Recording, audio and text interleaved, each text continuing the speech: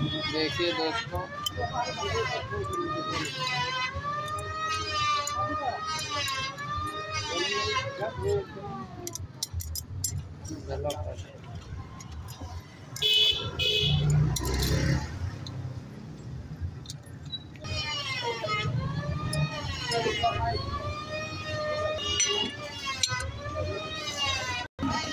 देखिए दोस्तों मेरा क्लच प्लेट फिटिंग हो गया है।